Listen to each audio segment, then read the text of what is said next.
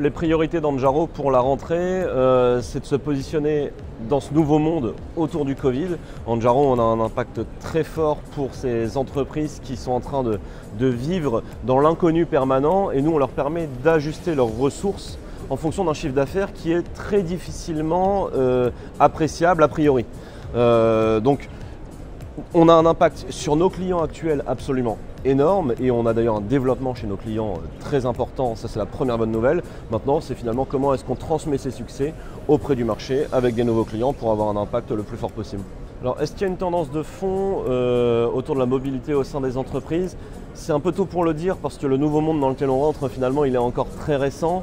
Ce qu'on voit tout simplement, c'est plutôt des coupes budgétaires. Ces coupes budgétaires, souvent en termes RH et de masse salariale, hein, si on doit parler euh, finance, c'est souvent sur la ressource externe, l'intérim, le CDD, où on va restreindre ça. Le problème, c'est que les opérations, elles continuent, le business, il doit continuer de tourner. Et comment on fait dans ces cas-là? Ben, On fait appel à l'interne via de la mobilité, plus ou moins ponctuelle, dans le cas d'Anjaro, plutôt ponctuelle. Ça, on le voit, et surtout, encore une fois, chez nos clients historiques, on voit un recours à la mobilité interne bien plus fort qu'avant le Covid. Ça, c'est une certitude absolue.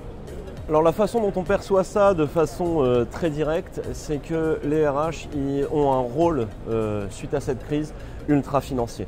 Soyons très clairs, euh, il faut que les activités soient rentables, il faut que les ressources humaines soient rentables. Donc pour ça, il faut rationaliser la façon dont on gère les opérations, dont on gère les opérations de ressources humaines et donc en fait comment on emploie.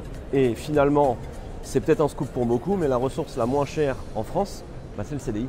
La façon dont on se rapproche de ces grands groupes et de nos cibles, elle a un petit peu changé avec le, avec le Covid et aussi avec la levée de fonds qu'on a faite évidemment en avril dernier. Parce que quand on fait euh, ce qu'on appelle une série B, hein, qu'on lève plus de 10 millions d'euros, 14 euh, en l'occurrence pour nous, bah, on a les projecteurs un peu sur nous pendant un moment, ça nous a permis permis de nous faire connaître.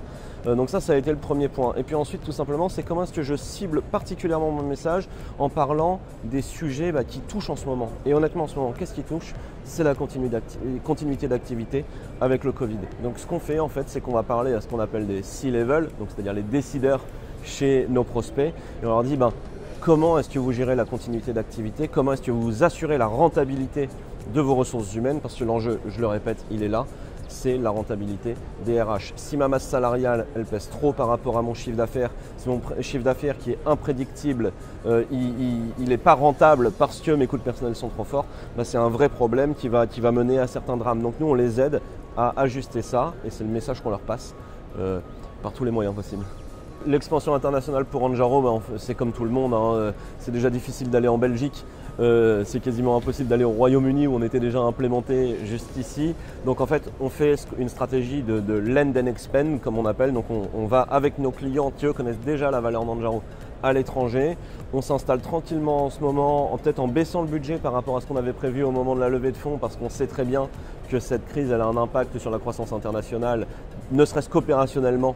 Euh, la croissance internationale elle est plus difficile. Donc là on accompagne nos clients, on fait nos preuves et quand tout ça ça se sera un petit peu calmé, qu'on pourra déjà un peu mieux voyager, on ira un petit peu plus fort, on ouvrira des bureaux.